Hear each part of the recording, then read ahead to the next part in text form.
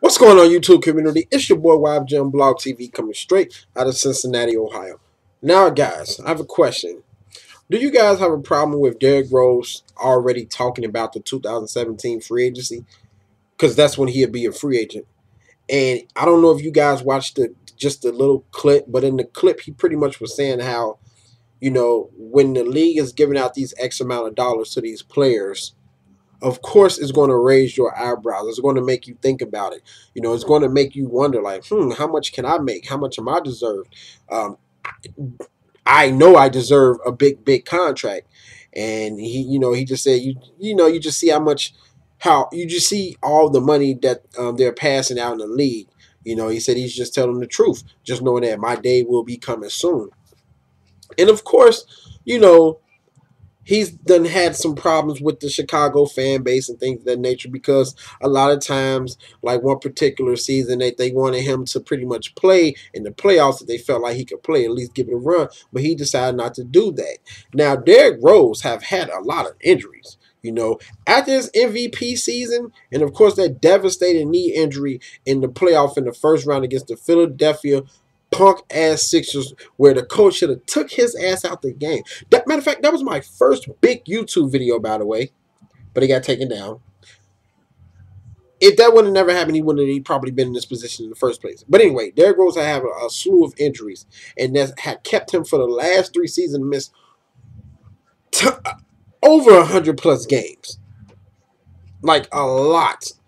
And you know, I think a lot of people are going to be wondering like why would he make these comments and he really haven't been back to that old MVP Derrick form. You know, he's still he's still trying to get people to believe that he is back because let's just face it, over the past 3 years um he shot 43 uh let me see. He shot 43%, 21 he averaged 21 points, um 7.9 assists. Great year, but then the injury came in. 2013, 2014, he shot 35% he averaged 15 points, 4.3 assists. Then last season, 40%, um, 17 points. Now, granted, he showed you moments of old Derrick Rose. He played better. Now, in the playoffs, he did get outshowed by Dellavedova. He got outplayed by Dellavedova. I will agree that, especially in the pre-pivotal uh, pivotal game. I think it was game six, I believe. But anyway, I don't know what question was asked to make him even say this, but I'm pretty sure he was asked, and he was just telling the truth, which there is nothing wrong with telling the truth.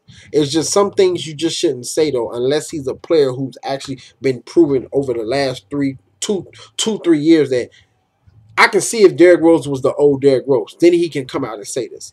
But you know, he's still trying to get his name back up there as an elite point guard or an elite player. And some may say he may not ever get back to that to that to that form. I believe he will, but we just have to wait and see. But what he need to do is just stay focused, stay focused on basketball. Think about this upcoming season. Because look now, he's injured again. Probably might miss 28, 30 games. See what I'm saying? So if he was asked a question, I wouldn't even I wouldn't even respond to it because you know you're going to get a lot of slack, especially from the how your how his productivity have been over the past two three years. You know, it hasn't been great. Okay, so I don't know, man. I Derrick Rose, my I, I always fucking love Derrick Rose. I, I was happy just to see him play through the season, even though he missed 30, 30 games, and even make it to the playoffs and just play because it was just great to see him back on the court. You know, but um, yeah, um, and also this thing about trying to get enough money to, you know, even though they're comfortable right now. A lot of these players, you know, cut the bullshit out. I hate when I hear players say say that they're, you know, they're trying to make sure that their family is taken care of for the X amount of years. These motherfuckers are signing 90 million, 100 million dollars contract, got endorsement. Your family can be fine if you was making 100k a year. So when I hear players say that they're doing this for their family, it be a bunch of bullshit. They want the money, and I do not fucking blame them. Some may say, some people may say they're greedy, but hey, I hate if you're gonna say it, don't throw in the family thing. You're 90 something million fucking dollars he has signed for. I'm pretty sure your fucking family is fine. But that's just me, man. I hate when players fucking throw their family in there how much money do you need for your family to live comfortable? If I had a hundred million dollars, my family is good for the rest of their life, unless you, unless I fuck around and mess it up somehow. or even a 150 or 200 million. That's fine. How much more money do you need? So when players say that, kiss my ass. I just throw it out the window. But anyway, you guys tell me what you think about Derrick Rose comments, man. Comment, subscribe, favorite, like, share. Check out previous videos. Hit me up on Twitter, Facebook, Instagram. And I'm out, man. Deuces.